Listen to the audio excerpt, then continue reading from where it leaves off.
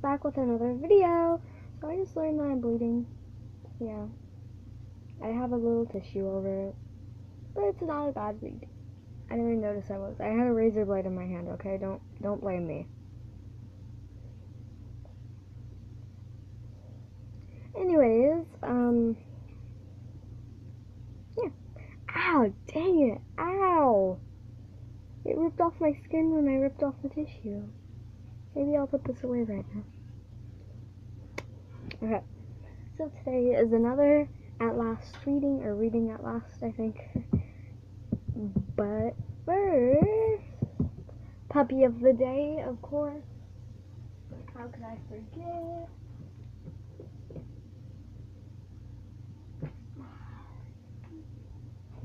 So, our last puppy was the one on the cover. Here's the next puppy. It's an adorable pug, okay? Everybody loves pugs, so don't get mad at me. Wanna, just for fun, I'm gonna go ahead and show you the third one. Oh, it's so cute! I'll just show you guys two every day. How about that? Because they're so cute, you can't resist to show any. Just one one day, Jesus. It's like, oh my god. So let's put this back. And then get on with our reading. Okay, this is called Snoopy's Two Minute Stories. We may be reading two of these, you know, for four minutes. But everybody likes Snoopy. Come on, he's a dog. Who doesn't like dogs? Okay, so let's open this. Oh, whoop. I have a lotto ticket. I don't know where this came from. I'm gonna go give this to somebody. I will be right back. Okay, so this is by um it does not say who it's by. I can't find where it says who it's by. But it's including stories about Snoopy, Charlie Brown, Lucy Linus, and many more Peanuts favorites. Okay. So let's get started with our book.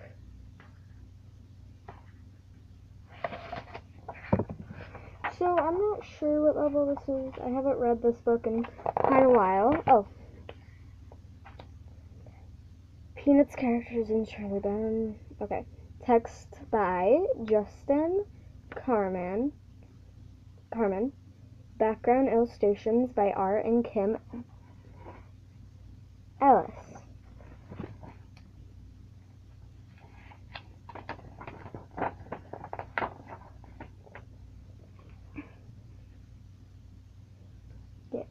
It's a dog's life.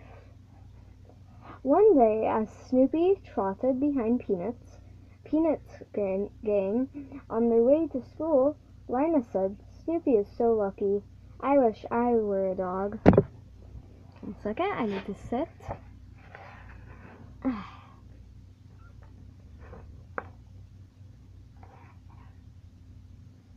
Snoopy is so lucky. I wish I were a dog.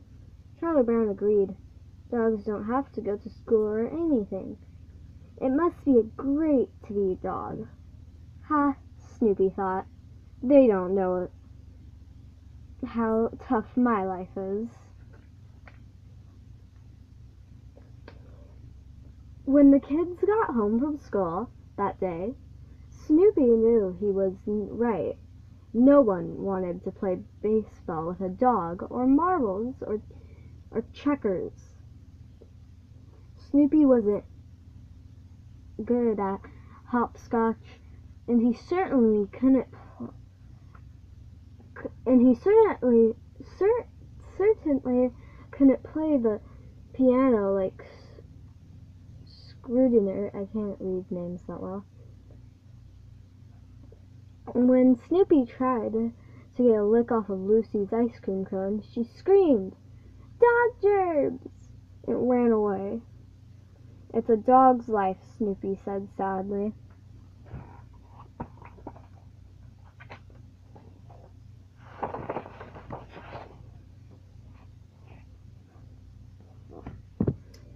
From his doghouse, Snoopy could see Charlie Brown. Sorry, I'm very sorry about this.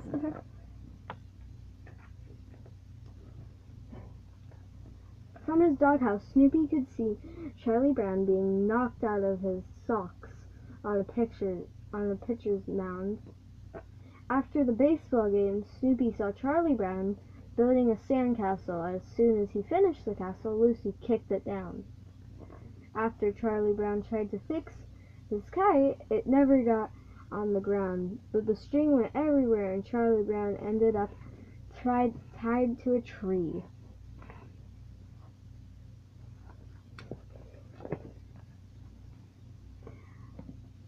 Then it was time for Charlie Brown to do his homework. Snoopy star- started, stared at the math problems until his head started to spin.